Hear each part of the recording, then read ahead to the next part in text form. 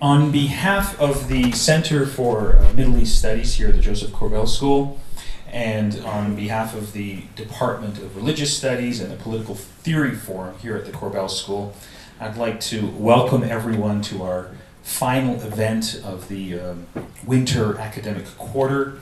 If you're interested in more uh, information with respect to future events or the activities of our Center for Middle East Studies, we have a website that you can access and um, you can find out more about our coming events and our, and our research initi- initiatives. Uh, it's a huge honor to have uh, Ramin Jahanbegloo with us here today. Uh, Ramin Jahanbegloo is a prominent Iranian Canadian philosopher. He received his um, BA, MA, and PhD in philosophy, history, and political science from the uh, Sorbonne University in Paris. He's been a researcher at the French Institute for Iranian Studies and a fellow at the Center for Middle Eastern Studies at uh, Harvard University. Ramin has taught at the Department of Political Science at the University of Toronto. He's been a research fellow at the Center for Ethics at the same university. He later served as the head of the Department of Contemporary Studies of the Culture, Cultural Research Center in Tehran, and previously he was the Rajni Kothari Professor of Democracy at the Center for the Study of Developing uh, Studies in New Delhi, India. And currently he holds the Noor Chair in Islamic Studies at the uh, York University in Toronto. And Ramin is also the author of several books um, The Gandhian Moment, um, Talking India Conversations with Ashis Nandy, Conversations with Isaiah Berlin, Democracy in Iran, and numerous other edited volumes and books of conversation. And most recently, um, Ramin is the author of Time Will Say Nothing A Philosopher Survives an Iranian Prison, uh, recently published in Canada and on sale outside this room um, after the uh, event. Well, they're selling the books right now, but you can purchase it at any time. Um, in October 2009, Rami Jahanbegloo became the winner of the Peace Prize um, from the United Nations Association in Spain for his extensive academic work in promoting dialogue between cultures and his advocacy for nonviolence. Now, that is Rami Jahanbegloo's official uh, biography. Allow me to speak personally for a moment about um, Ramin and how I got to know him. Um, our paths coincided approximately 15 years ago when I had just uh, begun my PhD at the University of Toronto, and Ramin was a postdoctoral fellow um, at the University of Toronto. And we bonded over our mutual interests in um, political philosophy, intellectual ideas, and debates. But more specifically, um, we bonded um, by virtue of our mutual and shared interest with respect to the prospects for democracy and political change inside Iran. Um, at that time, um, the prospects for political change in Iran looked quite um, promising. Um, Iran was undergoing a, um, a, Tehran spring moment as a result of the um, election of a new reformist um, president. And Ramin and I had a lot in common with respect to the, the question of Iran democracy, ideas, debates. And soon afterwards, after completing his postdoc at the University of Toronto, Ramin abandoned a very promising uh, academic career that he had in the West, and he decided to go back to Iran to participate in the struggle for uh, political change, for democracy, and he became actively involved in civil society debates, but especially in terms of playing a very unique role as a conduit for bringing um, Western intellectuals, Western academics, to Iran to familiarize them with the realities of Iranian society and politics, meeting like minded intellectuals and civil society advocates. Um, and he developed quite a reputation. Um, and it's precisely and specifically because of the work that Ramin was doing in Iran at this time um, um that he um, um, was arrested in 2006, soon after the election of Iran's hardline president Mahmoud Ahmadinejad. He was charged with um, being one of the intellectual leaders or theoreticians of um, um, a, a, an attempt to foment um, what was described as a velvet revolution inside Iran. Now, what was interesting about the charge was that um, in the global community, a velvet revolution is generally associated with a positive thing. But from the perspective of the Iranian government, that was considered to be a subversive act. And Ramin um, was actually the first in a series of um, intellectuals who had dual passports were arrested, really as a way of sending a message to the rest of Iranian civil society that we can arrest this guy who has a Canadian passport, we can do whatever we want to him, and the world can't say anything.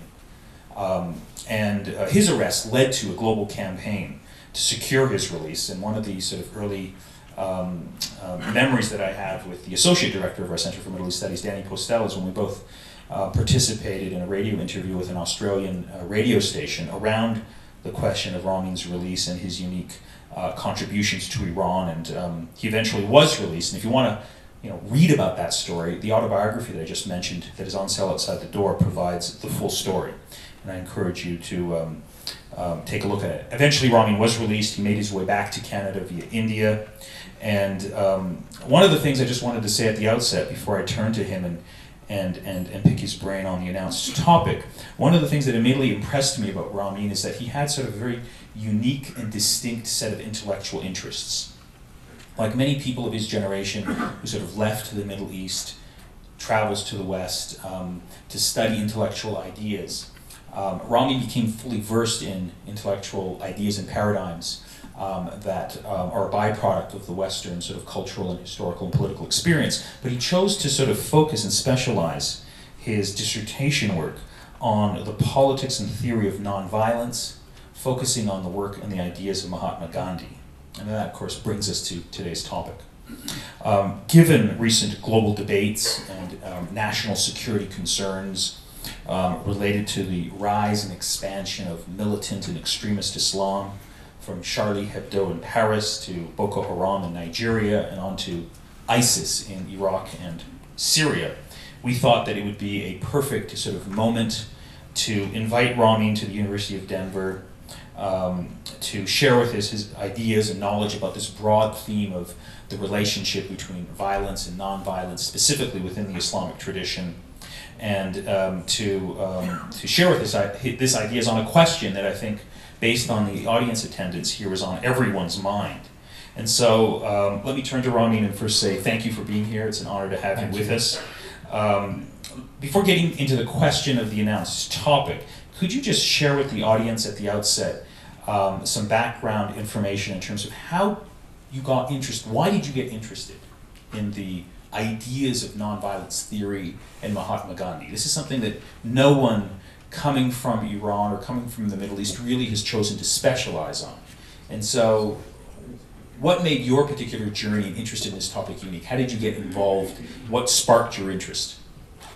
Well, first of all, thank you for the invitation, and uh, I want to say hello to everyone. And uh, quite impressed by the number of people present here, and I hope that we're going to have a good exchange of ideas. Uh, actually, I'm here more for you and to answer your questions. Um, but coming back to my uh, itinerary, intellectual itinerary, um, I think that it would be a quite a wrong uh, uh, um, supposition, and, and uh, I would think it would be wrong to say that somebody coming from the Middle East or a Muslim background could not be interested in Gandhi. I mean, there's there's no reason why somebody not coming from the Middle East uh, could not encounter uh, uh, Gandhi or India. On the contrary, because um, coming from Iran, you know, Iranian culture has influenced 400 years of India. Um, in architecture, art, uh, mysticism, uh, mm, music, uh, even cuisine and everything else. So there has always been a very close contacts between India and Iran, and uh, that's how I discovered uh, Gandhi very naturally through my parents who were open uh, towards Indian culture. And uh, uh, uh, during the Shah's regime, when I was a kid in Iran, we used to have contacts with people from the Indian embassy, and we took it very naturally. I mean, listening to uh, Indian Ravi Shankar or uh, reading Tagore uh, came to me uh, very naturally growing up in an intellectual family, an artistic family. So it's, um, but there's a second point to that, and it's when I went to France and I, sorry, I have my back to you. Um, uh, is when I went to France and I uh, started uh, getting very much involved in French intellectualism um, and uh, French philosophy that uh, I started working on German idealism, but also on, I would say, everything which is uh, mostly, um, as you mentioned, I did my PhD in philosophy, but I did my master's and my BAs in history, political science, and philosophy the three disciplines at the same time. Uh, so I worked. I I, I, I did uh, at the age of twenty three. I, I did my first book on Hegel and French Revolution, and I was very much interested in Hegelian uh, actually idea of the state. And at the same time, when I was doing my history, while I was writing this book, I was working on Clausewitz and the theory of war which has nothing to do with non-Gandhian at all. I mean, it's not. So, uh, uh, it, theories of violence brought me to non-violence because I worked very deeply in theories of violence, political theory of violence, um, and I was always interested to uh, discover. Uh, you know the the reverse. If there are any theories of nonviolence, and I started reading Martin Luther King Jr. He's he's one of my heroes also. I started reading Gandhi and I, I, I, I did my first trip to India while I was a student in, uh, in, in Paris, and I, uh, from that time on, I engaged with the nonviolent groups in France, and uh, at the time these were the anti-nuclear groups, you know. Mm-hmm and uh, most of the time, and I started writing in French about Gandhi, Martin Luther King Jr., and, uh, and many others. So I got involved in, in, in Gandhism and in uh, Gandhi philosophy, and finally I decided that I have to write my PhD, my thesis on, on Gandhi, but especially on the into the Western influences on Gandhi, which is John Ruskin, Henry David Thoreau, and especially Tolstoy, as you know. So I, I mostly wrote about the encounter of Gandhi with those people. So let's now turn to sort of the crux of the matter that I think mm. has brought many people into this room, and that's the question of the relationship yeah. between Islam and violence and the possibilities of, of nonviolent theory. I think it's safe to say that there's a wide held and deeply felt sort of uh, um, perception of conviction in the West among many people that um, there's something unique about Islam mm-hmm. that lends itself, if you want to be polite, that lends itself more than other religious traditions to a certain politicization of faith. And as a consequence of this alleged unique disposition within Islam that makes it more of a political religion, that then lends itself um, much more easily to justifying acts of violence in the name of religion, mm-hmm. in contrast to Christianity, Judaism, Hinduism, Buddhism, etc. Do you agree with this claim? No, I don't. well, why don't I don't agree with you because, uh, first of all, it depends on which Islam we are talking about. I mean, most of the time, I the, one of the first questions that I, I, I, teach two classes on Islam. One is uh, Muslim diaspora in the West and uh, uh Islam and modernity. And uh, uh, in Canada, I, I, teach that. But the, one of the first questions I ask my students, which I am going to ask you also, but is what are the two first, uh, uh population wise, what are the two first Muslim societies uh, or countries in the world? And most of the time, people think that Islam and the Middle East go hand in hand, or Islam and the Arab world go hand, in, hand in hand. As you know, the two first ones are Indonesia and India, which are both in Asia outside the Middle East, and they are non-Arab and they are non-Iranian, and so and non-Turk. So. Uh, uh, the, the interesting point is that when people approach uh, uh, Islam, it's in a very uh, stereotypical way. Um, and this is very unfortunate because, uh, first of all, we have had Christianity being very much, you know, connected to violence. We had the Inquisition.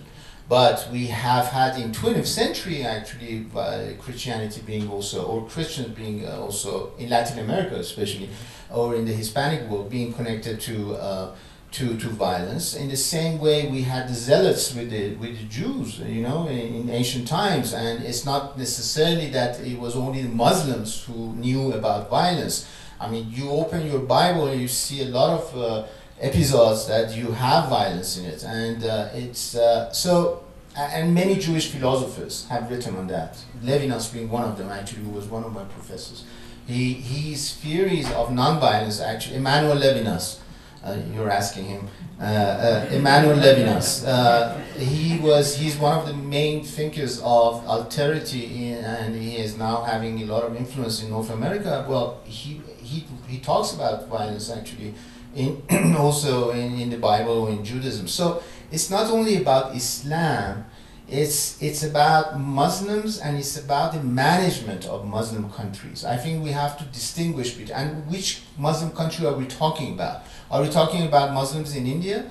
Are we talking about the public sphere in Indonesia? Are we talking about Malaysia? Are we talking about Iran, Turkey, or one Arab country? And again, in Arab countries, are you talking about the uh, North African countries where I lived in? Actually, I lived in Algeria, I've traveled to Morocco, Tunisia, no comparison point of comparison with a country like Iran, not even in their ritual Islam, not in their perception of Islam. Uh, many, many distinctions to make. So it doesn't come naturally to talk about Islam and violence. I think we have to talk about violent management of Islamic societies in today's world. What do you mean by that? What I mean by that, for example, uh, the Taliban, Al Qaeda, ISIS, these are ways of political management of either countries or groups or uh, human lives. Uh, and this approach is a very ideological approach. It's not just that they are Muslims, they are also very ideological. They have a very ideological approach of not only religion in, and not only Islam, not only religion, but culture and human culture in general. Uh, I, I, was talking with Danny Postel actually a few minutes ago about that. Uh, when you go and you destroy human heritage, you don't do that necessarily only in, the, in the terms of meaning the Nimrud or the museums or the Buddhas in Bamyan in Afghanistan. It's not that you are you do that from coming from a Muslim or Islamic background. It's that you don't have any sense of human culture. You don't have any sense of human solidarity. Uh, and I give example, counter examples. Goethe, he had an, a sense of human solidarity when he talked about Weltliteratur, which means world literature, and he talked about Hafiz, uh, a, a, Persian poet, being part of this Weltliteratur. Uh, you have a sense of uh, human empathy when you uh, are a Gandhi and you work with Muslims, but at the same time you know how to work with Sikhs and Christians, you know, because uh, Gandhi is the most Christian Christian that I've ever, uh, Hindu that I've ever uh, met, you know, and he said it himself because he's he, actually he says I'm the closest to the message of Jesus Christ, uh, more than uh, people who use Jesus Christ for colonialism and imperialism, you know, in the name of Jesus Christ going or in the name of Jesus Christ preparing the Inquisition. So this is all about management. It's about how you create a society, how you create your institutions, how you develop this and promote these institutions, but how, what is your consciousness about these institutions and about your action?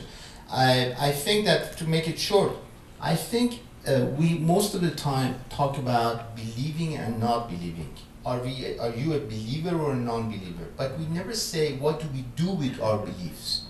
What comes to my mind is what do we do with our beliefs as Christians, Jews, Muslims, Hindus, Sikhs? What do we do? Are, uh, is it in the, do we take uh, our beliefs in the, in, in, in the sense of human solidarity in making things better, non-violence, good management, good governance, giving a future to a country? I think uh, the heritage of somebody like Martin Luther King Jr. in this country is that he knew how to take his belief and take it against discrimination, segregation, make something great out of America, uh, which I think without people like Martin Luther King Jr. would ha not have been done. So then why don't we hear more about nonviolent movements within Muslim societies? Do they exist and if so, where? First of all, I'd like to answer the, uh, the, the, the, bigger question, which is the topic of the, you know, our, our meeting is a, are there any Muslim Gandhis? They used to be Muslim Gandhis. I mean, there, there are Muslims who work with Gandhi, and Gandhi himself, he says, I learned from Abdul Ghaffar Khan, who's a from, we call him the frontier Gandhi, actually. I think you need to say at some point more about who Ghaffar Khan was. Yes, I, I, he's generally unknown. we're going to talk about. You want to say it right now? No, no, we're talking. Finish your point. But I mean, so Muslim Gandhis existed. Uh, Gandhi himself acknowledged the fact that you can meet Muslims who are nonviolent, and but are, are, are, how do they become nonviolent? I mean, I don't believe in, in a democratic DNA and nonviolent DNA. That's nonsense. You cannot say that we have a race uh, in one part of the uh, world that they know about nonviolence or democracy, and we have races or countries or regions that they don't know anything about democracy. It's about everyday life. Democracy is about the institution of the society. It's about lawmaking. It's about peacemaking. It's about everyday effort that we put in uh, human solidarity. So that is something we educate our children of. This, this is a part of it. Violence, the difference between violence and aggression is that, as Erich Fromm and others, Konrad Lorenz have written on it in the 1970s, aggression is comes from our instincts. It's natural. We, we all get angry, okay? We all might become very angry in our private lives. We might become aggressive. But we teach our children how to become violent. We teach them how to manage violence. We teach them how to use guns. We teach them how to kill other people. And we teach them how to be soldiers and go and kill other people in other countries, you know? But if we can teach them violence, we can also teach them nonviolence. So it's very important. Uh, Okay, well, th- this brings us back to the question of Islam and Islamic tradition, mm, um, which is um, a hot topic these days. And uh, the question really boils down to this what are the intellectual, religious, and cultural resources within Islam, within Islamic history, theology, that can be utilized to um, teach children nonviolence? Well, one of the examples of nonviolent Islam is the Andalusian Islam, which uh, I go to Cordoba every year in the summer. I teach there, and uh, I've uh, I've been in touch with this convivencia, actually coexistence, at the time of the Umayyads in the 9th, 10th century AD, where I actually uh, Muslims and Jews and Christians they used to live next to each other, and you had uh, philosophers like Averroes and uh, Maimonides which actually influenced the Renaissance later on. And as you know, Maimonides influenced Spinoza, a philosopher, philosopher like Spinoza. This is a good example of is nonviolent Islam, or let's say the taming of violence. Okay, if even if we cannot produce characters, figures like uh, historical figures like Mahatma Gandhi, because I think that people like Mahatma Gandhi and Buddha, we get them every thousand years or ten thousand years. It's not easy to be a Buddha or a Gandhi.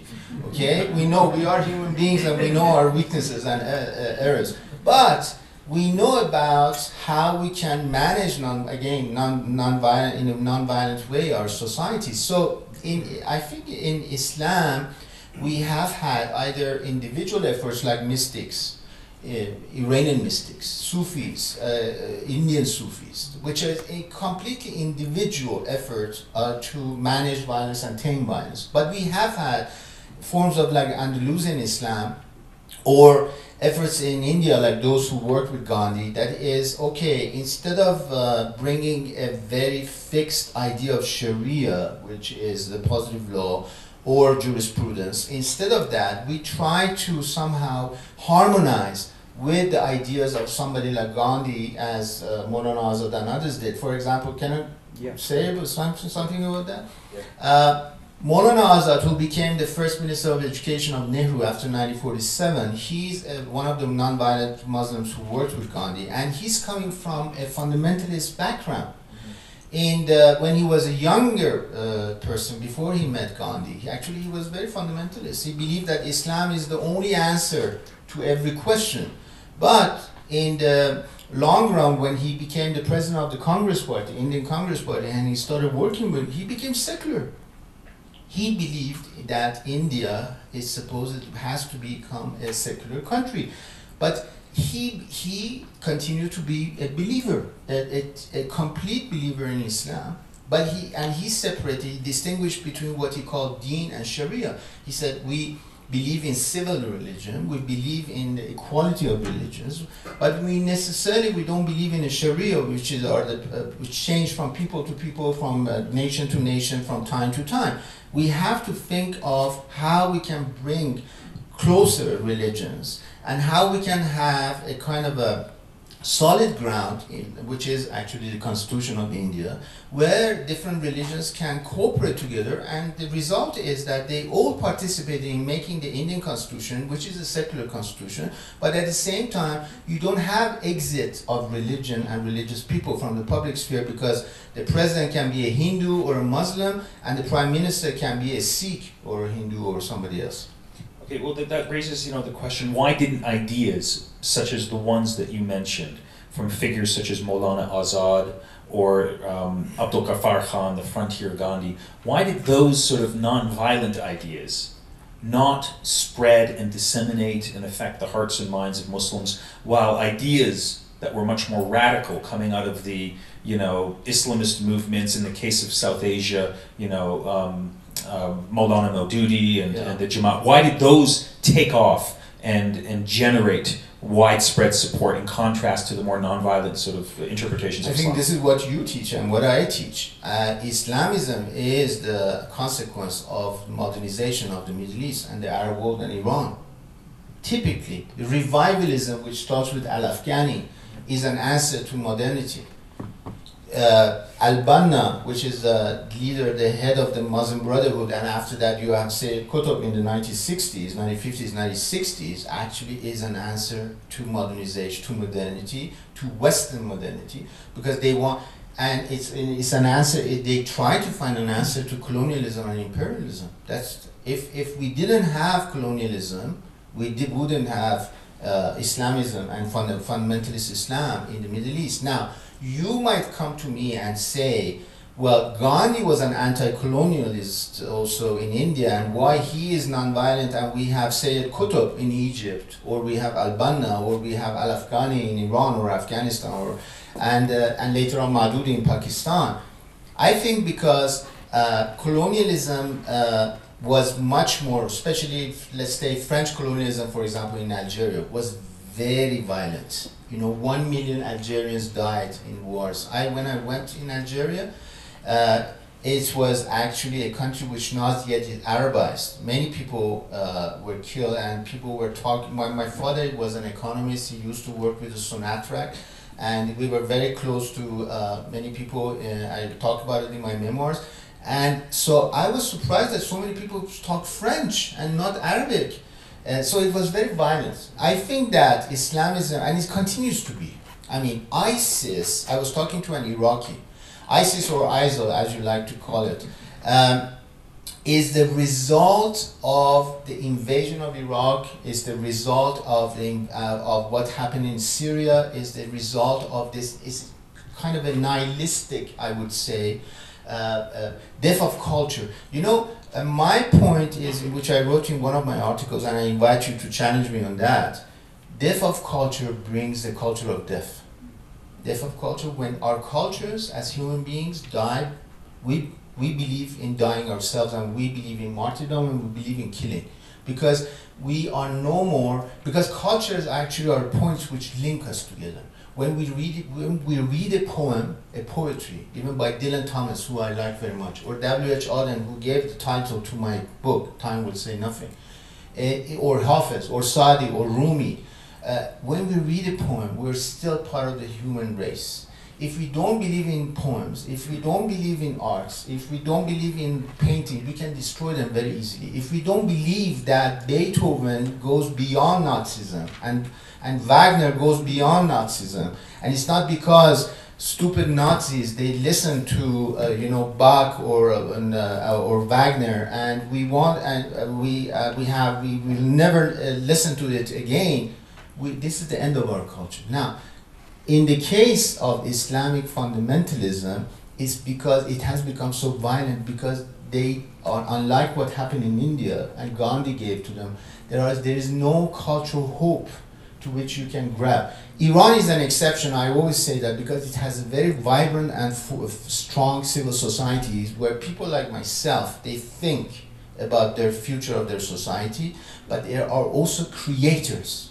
As women's rights movements, they are creators. Look at the number of women in Iran how, who are poets, film directors, uh, Nobel Peace Prize winners, all, all sorts, novelists, you know because they are creators. When you have creators in a society, you have a future for this society. if you don't have a future, you create ISIS. Okay, perfect segue to my final question before I turn it over to the audience. Uh, you've written that the struggle for democracy in Iran today, Yeah. embodied in the Green Movement of you know five years ago, but the, the contemporary demand for political change um, and the quest for democracy, is fundamentally informed by a nonviolent strategy of political change, Yes. Gandhian sort of impulses. Since Iran is very I much call it the Gandhi moment. the Gandhian moment. Since Iran is very much in the news today, although not with respect to its internal democratic sort of struggles, but with respect to the nuclear question, I think the audience would benefit from saying something about the internal struggle for democracy in Iran today, specifically the nonviolent Gandhian moment or Gandhian impulses that inform it. Yeah, I mean the the, struggle, uh, in, the internal struggle in Iran has not only been political and social; it has also been cultural. I mean, again, I go back to the fact that we're not only talking about people inside the Iranian system who are reformists and talk, fighting against Iranian hawks. We're talking about a huge Iranian civil society because Iran is a very young country uh, one of the youngest actually in the Middle East and one of the youngest in the world with a lot of educated young people who when they do not leave Iran by a huge brain drain and come to America and work for NASA or work for uh, you know research labs here in, or in Canada they stay in Iran and they, they try to change the society. But how do they try to change it? They do not do it through fundamentalism. Ask yourself the question if Iran is a Muslim country, why Iran does not produce Taliban, ISIS, and Al Qaeda? Has never produced. Iran has not produced one terrorist, you know, in, in all the attacks. that Well, were- they were sponsored produced Ahmadinejad. yeah, Ahmadinejad, but Ahmadinejad is actually part of the regime. It's like if it's like you replace Brezhnev by Andropov, you know, before Gorbachev. society Yeah, it's about it's about a nomenclature. I mean, uh, uh, we uh, maybe Iranian civil society has not had the power to change the Iranian nomenclature, but it has had the power to influence it.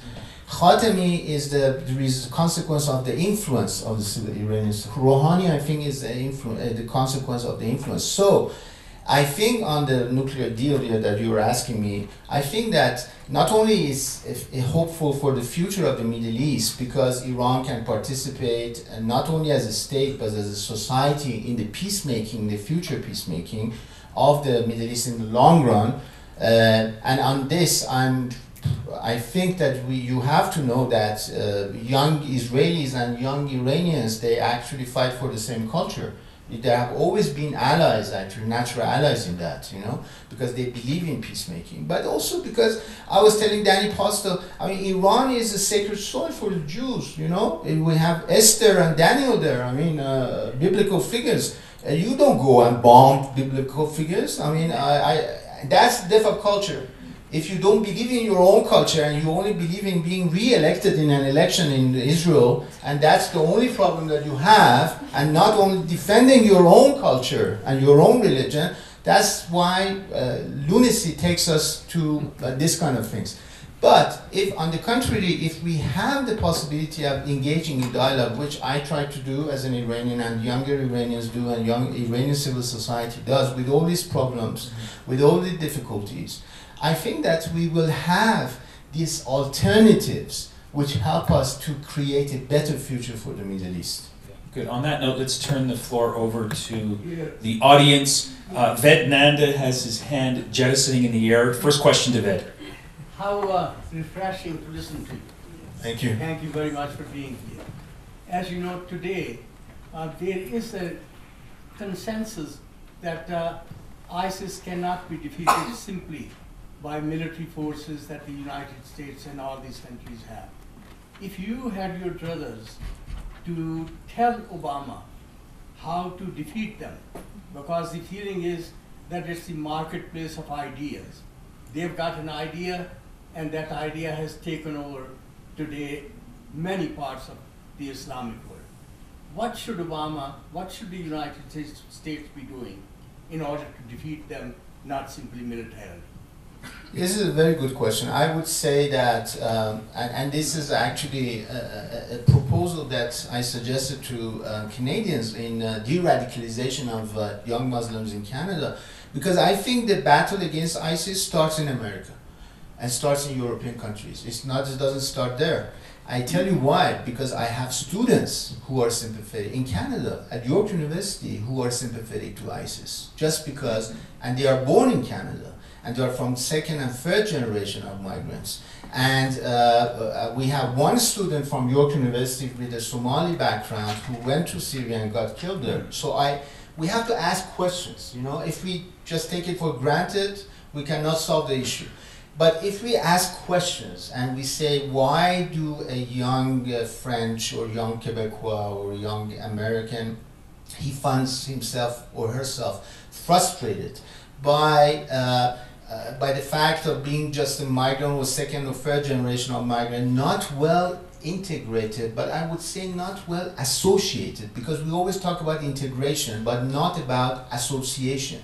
People, when they go uh, to other countries and they live there or they get born there, they have to find an association and not just what the French ask them, you have to be integrated, meaning you have to drink wine and know about camembert, cheese, or about his, his Okay, that's fine.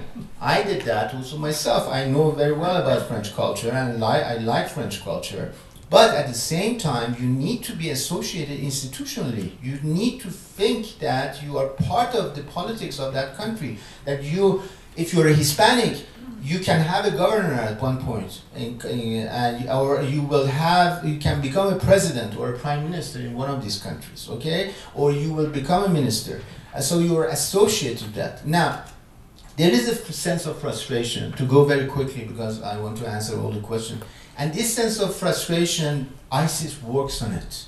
We, have, we know about uh, that. And we know that who are the ones who have been working on it. I actually, if uh, we were talking with Danny Postel about the Atla- article Atlantic Monthly, it refers to many people who have been uh, approaching these young uh, uh, second generation or third generation migrants. They are Australian and British, and they are from white backgrounds. They are not they, they are converted Muslims actually. So it's very strange, you know. Not somebody like me actually, but I mean it's very strange. So the battle starts here, and the battle I would say is mainly cultural uh, next to the bat- political battle. Okay, um, one and then two. Go ahead. Um, let's imagine an Islamic fundamentalist scale of 1 to 10, with 10 being uh, relegated to ISIS.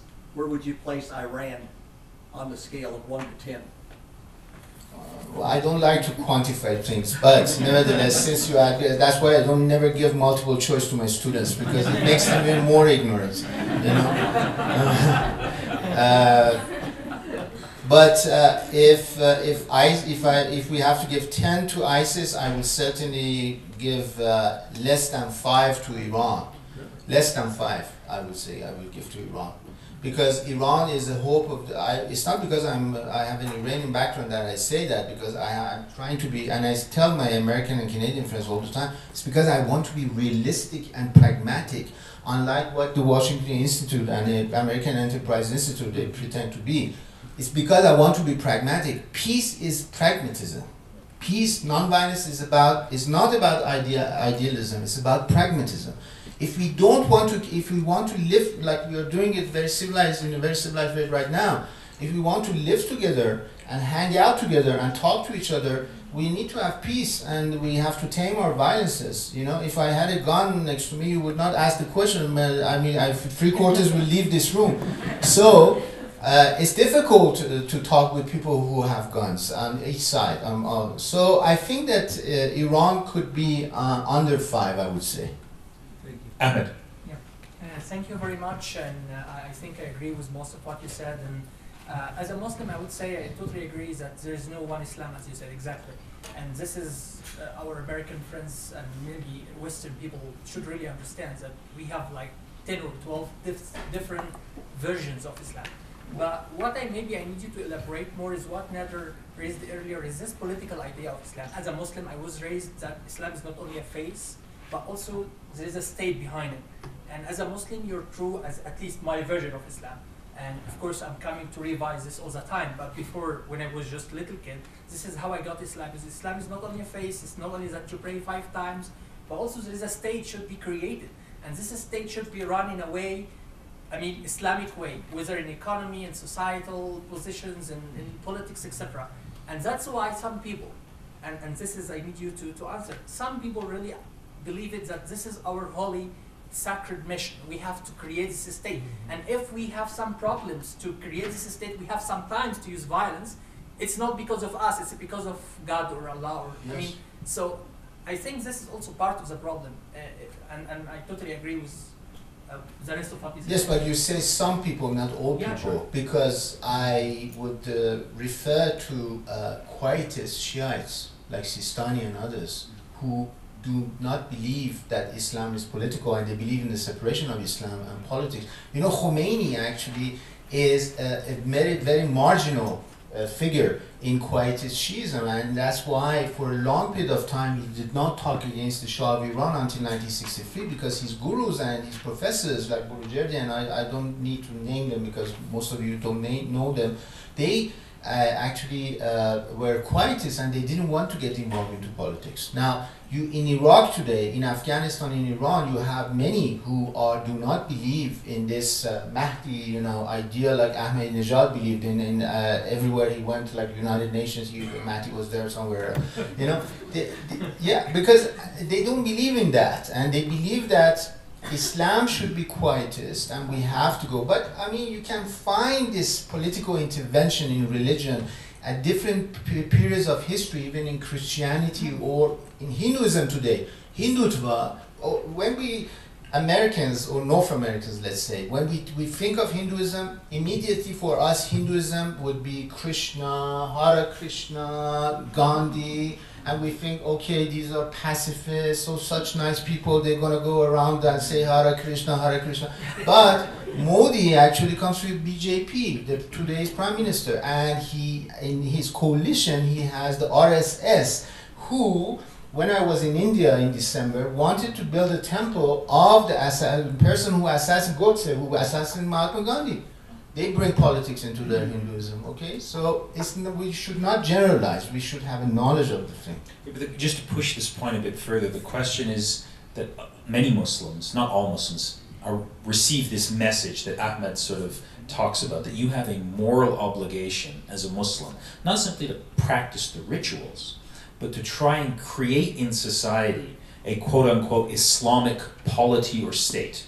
And that means if someone is preventing you from doing that, then you have a moral and Islamic theological obligation to pressure that government violently if necessary to bring about a more religious or Islamic milieu. That's a message that is sort of increasingly over the last um, several decades, a message that's been heard by a lot of Muslims. Granted, mostly in the Arab world, it's not really an Indonesian issue, it's not an Indian issue. Um, uh, but it's very much part of the reality, at least of the Arab world today. Yeah, it has been formulated differently by different Islamists. Uh, for example, as you know, uh, Sayyid Qutb talks about Hakimiyya uh, against uh, Jahiliyyah. Uh, but Hakimiyya means sovereignty, you know. Uh, it's, and when they, when many Muslims they say, well, our model is the time of the Prophet. At time of the Prophet, you didn't have state. I mean, we're not talking about the modern state because when Europeans and our North Americans talk about the state, they, they for them is we're talking about the modern state, Hobbesian, Rousseauist, Lockean state. In Islam, there is no formulation of this kind of uh, uh, you know modern theory, political theory. So it's mostly about you know. Do you disagree with me? Know? Yeah, we don't have this. I mean, but, but Sayyid Qutb, when he spoke about Hakimiyya, Yes, but Sayyid Qutb is an ideologue of 20th century. But when ISIS says, I want to build my caliphate, he says, my model is the time of the Prophet.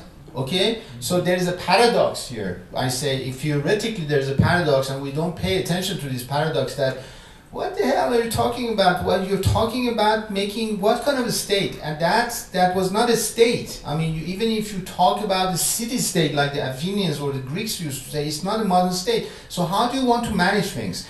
Uh, you want to have the a same model that was at the time of the Prophet, but you want to have a globalized economy. So they these people have all the Islamists around the globe. They are full of paradoxes, and we have to pay attention at these paradoxes. Okay. Micheline? I, I would like to submit that the Gandhian moment, uh, sorry, I didn't read the book, so, might have been lost during the Arab uprising. There were the initial phase of the Arab uprising, you had many people who actually rallied in various squares, including Egypt, were sort of Gandhian in uh, their posture. Uh, but soon enough, we know that military, with its Tunisia in Egypt and elsewhere, sort of just start uh, shooting in the crowds, and that moment, that Gandhian moment, changed Syria and elsewhere. And so the question is, particularly going back to some of the points that you made, if you were to sustain the Gandhian moment, how would that look like? I, I know that you, in your critical position, you say that it's all a problem of management, but I, I still have to understand um, how did, how should have, if they were ever able, the Muslim Brotherhood develop a political economy that makes sense for uh, the regime of Egypt post-revolution? How, how would they have done it differently? How would they have drawn on a different form of Islam in order to do, make it happen? I don't see that you can find that particular level of ammunition in order to precisely do what you're interested in is the sustainability of those Gandhian moment, the manageability of those Islamic regimes. If you could address Uh, my understanding of the concept of moment is not the same understanding as yours. I would use it as a Bergsonian duration. When I talk about the moment, Gandhi moment is a potentiality. Potentiality is uh, something which is continuous in time. So, for example, I, I'm going to give you a, a- an American example. Uh, Martin Luther King Jr. created a potentiality with his nonviolent movement, which did not only end with the civil rights movement and the civil rights and the fact that you have a black president finally in America, but it is a potentiality which can be used in Ferguson. It's a potentiality which could be used against uh, racist, you know, a policeman who shoot on blacks around America. This is a potentiality. Why? People can come back with the same message and say, we want to use this nonviolence in today's America and we want to tame the violence that we have, either in its racist form or non racist forms. Non racist forms is when we give guns to children and they go and kill people in at schools. Okay? This is also a taming of violence, and this is also when it becomes Gandhi moment becomes a potentiality. So the Gandhi moment in the Middle East is a potentiality also, which is still there, especially in Iran, but is still there in Tunisia, Morocco, and elsewhere. Everywhere where we go back to this message uh, or we go back to this civic strategy, it's not only a message, it's not only a spiritual message, it's how we organize ourselves. Do we organize ourselves with guns or in a violent way? Do we believe in uh, organizing ourselves or fighting against, let's say, uh, a danger like ISIS in a by invasion, military invasion, by new form of violence, or we trying to fight against it in, a, in different non-violent ways uh, uh, through non-violent conflicts? You know, so I think the potentiality is something which has to ring in our ears. Uh, question at the back, yeah. You spoke before about the need for people, the folks who are getting attracted to ISIS i- ideology here in the West have association with us in the West. Do you have any concrete either policy ideas for government or sort of cultural behavioral ideas for those of us not in government and how to build that common association? Yes, this is a very good question. Actually, I think what uh, today we call de-radicalization. Uh, de-radicalization is not to go and uh, find people who are might get converted to ISIS and put them in jail. Actually, is to educate them. But how do you educate them? And how do what kind of education you bring to Muslim quarters, Muslim ghettos, Muslim young Muslims in North America and in Europe? Uh, you provide them with possibilities, you provide them with po- uh, capacities, you teach them. I propose to teach them about nonviolent Islam. They don't know anything about it. They think that well, uh, Islam is about statehood, or Islam is about fundamentalism, or Islam is about killing, or Islam is only about going to the mosque. Well, you tell them, but Islam is a civilization. You come from a background, a civilizational background. It is your responsibility and it is your moral responsibility to know about your civilizational background. As an Indian, Pakistani, Iranian, Turk, um, uh, Moroccan, Egyptian. It, you have to know about that. It's not just that you hear the azan or the prayer, prayer and you go and you pray with others. This is not only Islam. As Christianity is not the, uh, only about going to the church, you know, it's a whole civilizational act. Actually, I think if we truncate, if we trunc- uh, if, if in the three pillars of each civilization is art, philosophy, and religion, you cut that, we are lost. And it's the way we actually many empires, the downfall of many empires, and and this is how uh, actually uh, Aztecs and Mayas and others disappeared. You know, it's not just because they were invaded; it's because they were subjected also metaphysically, philosophically, ontologically. You know, in front of something which we call the modern times. So, it's. I think we have to do this cultural work, policy oriented. Okay, with policy consequences. But we have to do it. We know we have to understand that military solutions are the last solutions. Okay. Jen. Help us with our own culture here. Um, as, as the Enlightenment moves into the progressive liberal tradition of today, we also developed a strong secularism, meaning that we privatize religion, very John Locke even. Um, are the evangelical foundationalists uh, quite offended by that because they say that religion is now the religious, including the evangelical atheists or second-class citizens. I think it's Neil Feldman uh, writes a book about weak secularism. Yeah. Can you speak anything to how we can integrate the religious, the Muslims, the evangelical atheists, the the mainline Protestants, the Catholics, in back into a progressive liberal society which has a very strong wall of secularism in principle. Well, I think that one of our errors, uh, philosophical errors, is actually to not distinguish between religion and spirituality.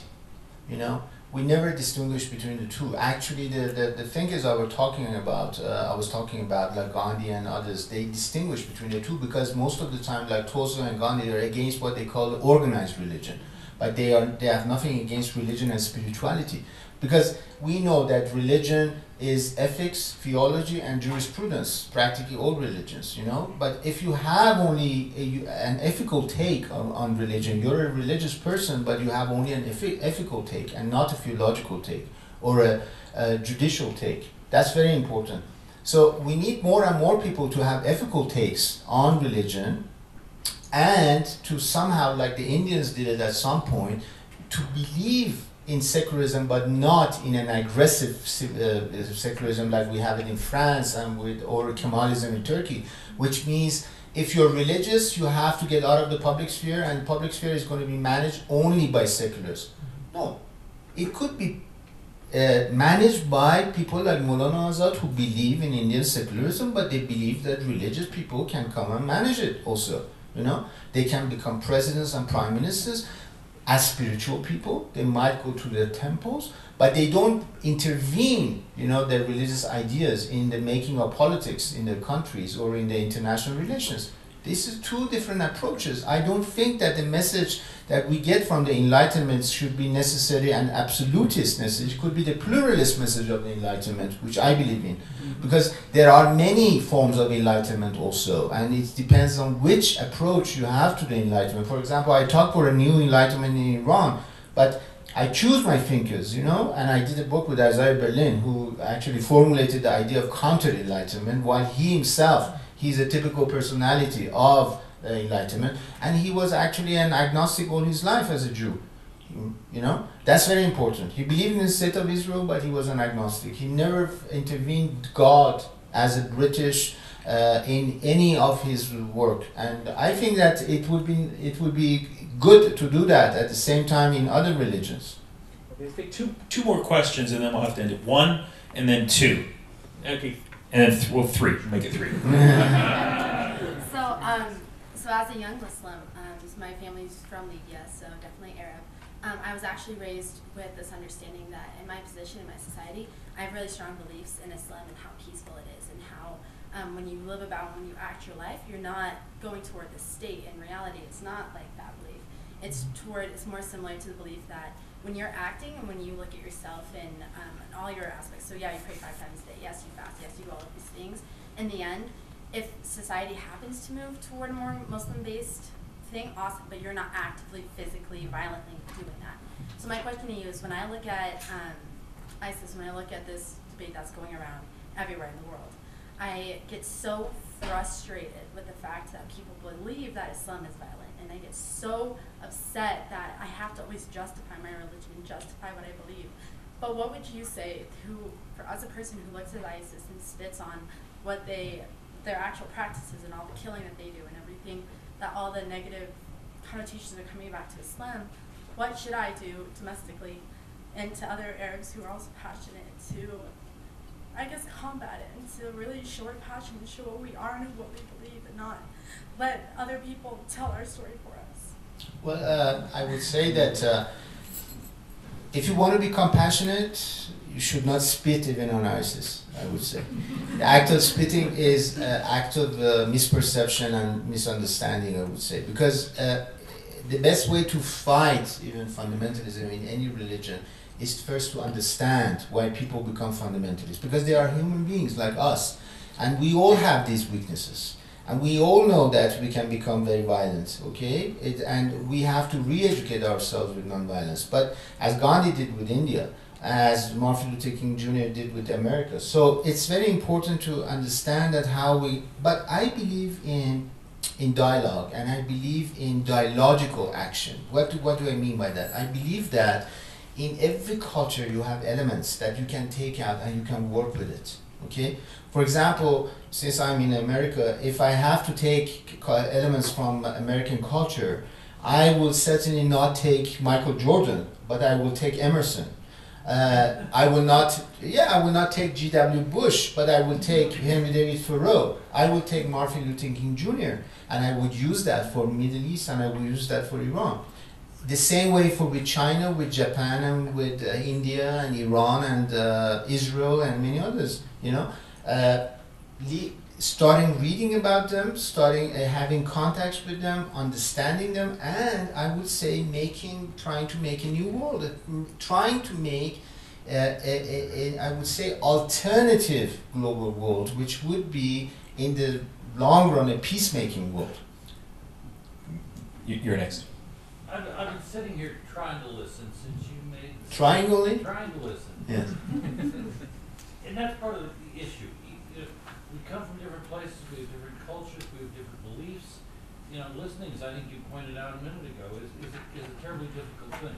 Yes. So, I want to apologize for trying to listen. Um, Since you made the statement that Iran does not produce terrorists, Mm. and I'm sitting here saying Hamas, Hezbollah, uh, the challenge that Netanyahu made, uh, in spite of the little put down, um, that, that if Iran wants to be, wants to be an international player, why don't they start acting like a responsible nation? Help me bridge that gap a little bit, because my beliefs are about the facts seem to be different than your beliefs about the facts. Yeah, I think the confusion here is with respect to your references to Iran, which were more about eternal Iranian society Yes, and its potential versus the ruling oligarchy in power in Tehran. So I, I didn't say that Iran doesn't produce terrorists. You know, uh, even Iran, Iran could produce terrorists, but it, Iranian civil society doesn't produce terrorists. And I'm talking about when we, uh, you know, the image that we have in America of a country like Iran, which uh, somebody like Mr. Netanyahu bets on, is the image of the Iranian government. It's not the image of Iranian society. So can we talk about the country without its population? Just uh, putting into parentheses its population and its younger population and its civil society? No, it's not the case. Do I will go and ask the question from Mr. Netanyahu and say, you're Israeli. I would say, do you talk only about your government and your party, or you're talking in the name of Israelis? Okay, because I read some Israelis, you know, and I don't get the impression that they are pro Netanyahu, you know, Uh, and I have friends like Shlomo Avineri, with whom I've done many things, uh, books and articles and other things, and I don't get the impression from Shlomo Avineri that he is in this direction of thought, or many others, many other Israelis who I know. So, what's the point? I think that in even in the art of listening, I think there is the art of understanding also. You know, because it's not only about sitting down and listening; it's also about empathy and understanding. Einfühlung, what the Herder called Einfühlung. Einfühlung is when you approach another culture and you just don't read it like that, as you're reading a book for your daughter of four years old uh, uh, uh, before sleeping, but also you get a point out of it. You know, that's why I mentioned Weltliteratur of Goethe and, and Hafiz. He gets a point out of it. He said, Oh, how close I feel myself with this poet who's a Muslim poet who's living in Iran uh, at this age. And maybe there are points of comparison, and I can take something out of that. So that's what I, the point that I'm making. I say if we look at these societies with an open mind, but also engage in a dialogue. Let's go and have a coffee with an Iranian, sit down and ask this Iranian, what do you think about Mr. Netanyahu? What do you think about the future of Iran? What do you think about Islam? And next day I go out with a Libyan and I ask her about wh- where do you come from, what is your background. But if I have stereotypes and I put all of them in the same jar, I will not get the jam I like. Okay. Is this me? No. Oh, I'm sorry. Um, so you have been imprisoned. Many other journalists, writers, activists have been imprisoned in Iran. I totally agree with the nonviolent movement, but I also feel it's very hard when you are in a prison cell. How do you think about that, and how do you feel that immediate gap of how do I talk to my interrogators? How do I think about the people who are torturing me, and how do you move from that personal moment to the more general movement? Well, you have to read my book about that. But, uh, but that, I mean, I'm joking. Uh, but, uh, you know, there's no honor in suffering. You know, if, uh, if we had to, because uh, once again, you cannot quantify suffering. We cannot say that a Jew who has uh, suffered in a, ho- Holocaust in a concentration camp like Auschwitz, I visited Auschwitz twice, uh, uh, has suffered more than somebody who go. You know, we have different forms of suffering. We have different forms of making people suffer at different ages, different centuries, like Inquisition and others. Uh, so I don't take an honor in that, but I think that the point which I got from my suffering or from my, from prison is that if they are practicing violence on me, I don't want to become. I, I don't want to get at the same level morally. You know, because how can I? how can I banish, how can I criticize the cruelty coming or violence from somebody else if I use the same form of violence or even worse? For example, I say, uh, I believe in death penalty, I believe in destroying these people. I, I should formulate some new forms of you know human compassion, but also new forms of human understanding. Because violence is about non-understanding of humans, non-understanding. And here I'm not preaching to you because I'm not a preacher. I'm talking to you as a human being, as somebody who went through this experience, but also as a philosopher who has been trying to reflect on these things. I, in my book, I mentioned, and I close that, I think philosophy has a civic task. Okay, civic ci- philosophy and philosophers are not about ivory towers. I don't like philosophers who are in ivory towers. Philosophy has a civic task of changing our civilization, is of, unders- of bringing thought to our civilization. When our societies, our human beings, as Hannah Arendt said, become thoughtless, and they create uh, monstrosities like Nazism or uh, gulags or Rwanda or Darfur or ISIS. This is the moment of intervention, philosophical intervention. But because it's a moment, it's a Socratic examination of our civilizations. But Socrates and philosophers did it in a non-violent way. They, this is a non-violent intervention. They did not do it with guns. They did it with their concepts and creativities as artists have been doing it all through. And that's why they stay in our hearts and in our minds. And we still you need them. We need to go back and look at Picasso's Guernica, but we need to go back and listen to the Fifth Symphony of Beethoven but we also need to go back and read uh, Hegel and uh, Schopenhauer and many others. Well, on that positive note, um, thank you for being with us. Thank morning. you.